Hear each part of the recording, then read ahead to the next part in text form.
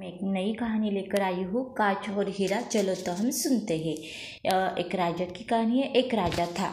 एक राजा का दरबार लगा हुआ था, क्योंकि सर्दी का दिन था, इसलिए राजा का दरबार खुले में बैठा था। पूरी आम सभा सुबह की धूप में बैठी थी। महाराज ने सिंह के सिंहासन के सामने एक टेबल जैसी कोई कीमती चीज़ रख दी। पंडित लोग दीवान आदि सभी दरबार में बैठे थे। राजा के परिवार के सदस्य भी बैठे थे। उसी समय एक व्यक्ति आया और प्रवेश मांगा। प्रवेश मिल गया तो उसने कहा, मेरे पास दो वस्तुएँ हैं। हर राज्य के राजा के पास जाता हूँ और अपनी बात रखता हूँ। कोई फ़र्क नहीं पाता। सब हार जाते हैं और मैं विजेता बनकर घूम रहा हूँ। अब आपके नगर में आया हूँ। राजा ने बुलाया और कहा, क्या बात है? उसने दोनों वस्तुएँ टेबल पर रख दी। बिल्कुल समान आकार, समान रूप, समान प्रकार, सब कुछ नक सीख सीख समान। राजा ने कहा, ये दोनों वस्तुएँ एक है तो उस व्यक्ति ने कहा हाँ दिखाई तो एक सी देती है, लेकिन भिन्न है। इसमें से एक बहुत कीमती हीरा और एक कांच का टुकड़ा है। लेकिन रूप में रंग सब एक, और कोई आज तक फ़र्क नहीं पाया कि कौन सा हीरा है, कौन सा कांच है। कोई फ़र्क कर, बते कि हीरे में, हीरा है या काच। अगर परख खरी निकली तो मैं हार जाऊँगा और यह कीमती हीरा मैं आपके राज की तिजोरी में जमा कर दूँगा।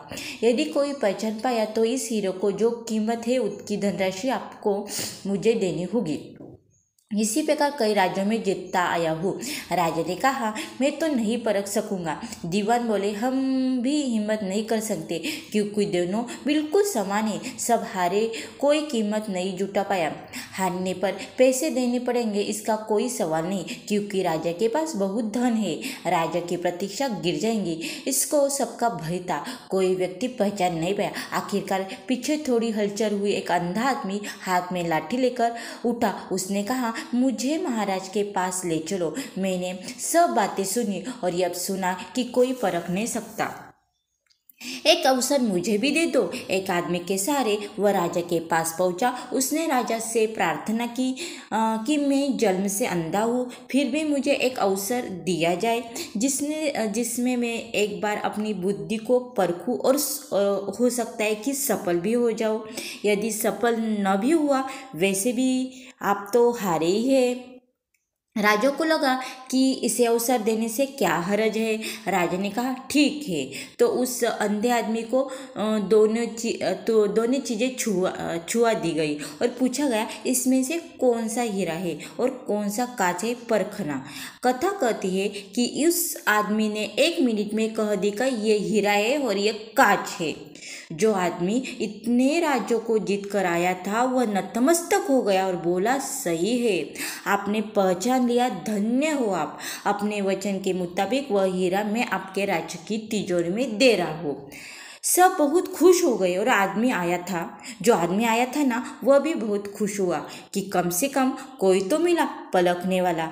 वह राजा और अन्य सभी लोगों ने उस अंधे व्यक्ति की एक जिज्ञासा जताई कि तुमने कैसे पहचाना कि यह हीरा है और यह कांच है। उस अंधे ने कहा, सीधी सी बात मालिक। धूप में सब बैठे हैं। मैंने दोनों को छुआ तो ठंडा रहा वो हीरा जो गर्म हो गया वो कांच है। बहुत मोटिवेशन स्टोरी है। कैसे एक अंधे आदमी ने कांच और हीरे में परख की कि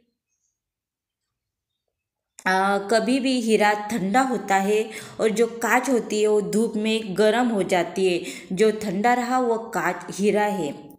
इस तरह वो अंधे आदमी ने हीरा पहचान लिया बहुत अच्छी मोटिवेशन स्टोरी थी। मिलते हैं अगले वीडियो में एक नई कहानी लेकर। श्री स्वामी समर्थ, श्री कृष्ण।